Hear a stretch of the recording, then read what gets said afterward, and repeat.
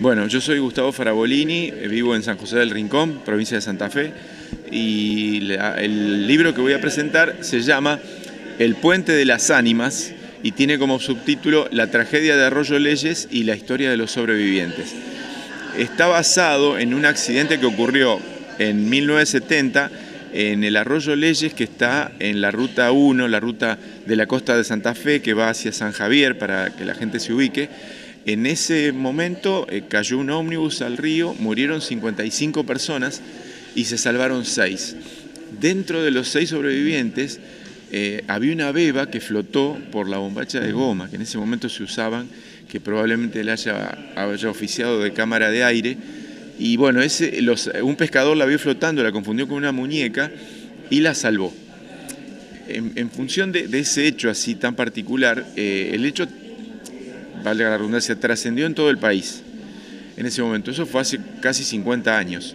En algún momento eh, alguien me dijo que el ómnibus se sigue viendo debajo del agua, cosa que no es cierta porque lo sacaron, que a los pescadores hay gente que los llama, que son los abogados que los, llaman y se quieren subir a las canoas.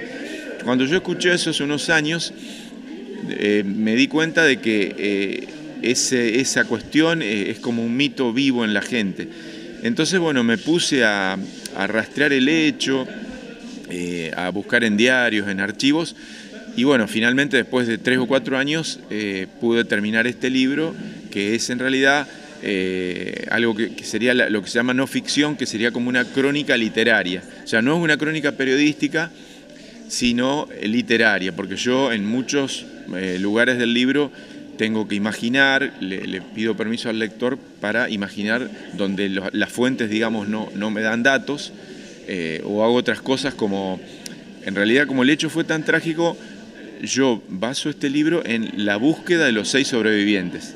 Entonces, cada, hay distintos capítulos donde yo me pongo como personaje y, pretendo que el lector, con, con empatía, se ponga conmigo a buscar esos seis personajes por distintas rutas del país, donde va a haber puertas que se cierren, puertas que se abran, eh, va a haber entrevistas, va a haber muchas cosas. Eh, así que bueno, esa es más o menos una síntesis del libro. Bueno, y hoy aquí en la Feria del, Libro, eh, ¿cómo se genera la idea de venir hasta San Carlos Norte a presentar? Bueno, un poco con el librero que, que, viene acá a la feria, Claudio Cherep, ¿no es cierto? En algún momento él me dijo cuando yo presenté el libro en Santa Fe, debe hacer tres o cuatro meses, a él le interesó mucho y me dijo, mirá, eh, como este, este es un hecho de la provincia de Santa Fe, me parece que va a ser importante. Y después se comunicaron conmigo, Patricia Marosi de, acá de la zona, y bueno, después también eh, Ana, que no recuerdo el apellido, que me va a presentar, eh, leyó el libro y bueno, estuvimos en contacto y ahora seguramente va a ser eh, hay ya alguna síntesis del libro y va a haber algunas preguntas y después la participación del público, ¿no es cierto? Eh, Gustavo, cuéntenos un poco de su trayectoria como escritor. Bueno, yo en realidad para vivir hice muchas cosas que no tienen que ver necesariamente con la escritura, pero bueno, una de las cosas que hice fue muchos, estudié varias carreras y una de ellas profesor de historia. Lo hice no por nunca ejercer, sino para conocer la historia y tratar de explicarme el mundo cosa que cada vez me resulta más difícil. Y escribí, hice un par de posgrados, escribí tesis de posgrado y me di cuenta en un momento que lo que más me gustaba en realidad era escribir. Y bueno, hará 15 o 20 años me dedico en firme a escribir, eh, le robo tiempo a mis otras ocupaciones, doy clase en la universidad, pero eh, he ido a talleres literarios, eh, sigo en contacto con escritores de Buenos Aires haciendo lo que se llaman clínicas de narrativa. Eh, y bueno, y también yo doy talleres literarios en Santa Fe y en San José del Rincón. Eh, yo lo que mm, puedo transmitir como mi experiencia es que eh, escribir es una profesión, digamos, hay que tomarla como tal.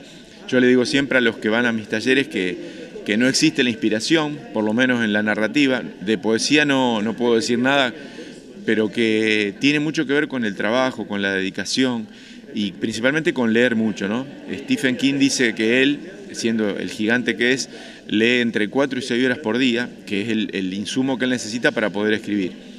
Así que bueno, he publicado eh, distintos cuentos en antologías, eh, he publicado también en diarios, en revistas. hace cuatro años eh, salí finalista de un concurso eh, que hizo el Ministerio de Educación de la Nación que se llamaba Héroes y hice con un relato breve de 10 páginas alrededor de la historia del pescador que rescató a la beba. El concurso se llamaba Héroes. Y bueno, en realidad eh, no tengo tanto publicado, tengo tres novelas más terminadas, pero no, no me preocupa publicar, digamos. Creo que la buena decisión que hice en publicar primero este libro porque está teniendo mucha repercusión. Yo lo que les contaba a los organizadores que traje un solo libro que lo voy a donar a la biblioteca porque no me, quedó, no me quedaron más. Lo presenté, además de Santa Fe y la Feria del Libro de Buenos Aires, en los pueblos de la costa, donde la mayor parte de los abogados fueron de San Javier, eh, Callastá, Elvesia, Santa Rosa de Calchines y Rincón. Y ahí en cada presentación fue algo para mí nuevo en, mi vida entera, ¿no? que es la repercusión que tiene un libro.